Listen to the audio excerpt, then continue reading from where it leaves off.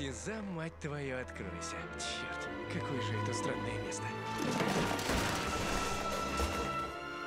Ну же, где вы там застряли?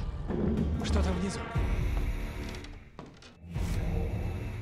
Волшебный кот у двух дряхлых старичков, да? Точно. Дождемся их. Напугаем до усрачки, и они все выложат.